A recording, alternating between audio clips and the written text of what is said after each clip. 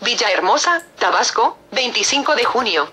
El candidato de la coalición Compromiso por Tabasco, PRI Verde Panal, a la Diputación Local por el noveno distrito, César Rojas Ravelo, aseveró que los cierres masivos de campaña de parte de los candidatos al gobierno estatal, y a la alcaldía de centro, demuestran el respaldo popular hacia los abanderados del PRI.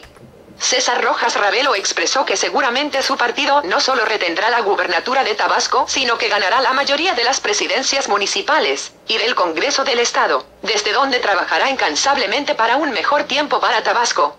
Estamos seguros que el pueblo de Tabasco nos ratificará, como ahora lo está haciendo, como su mejor opción para gobernar y para representarlos dignamente en el Congreso del Estado, dijo.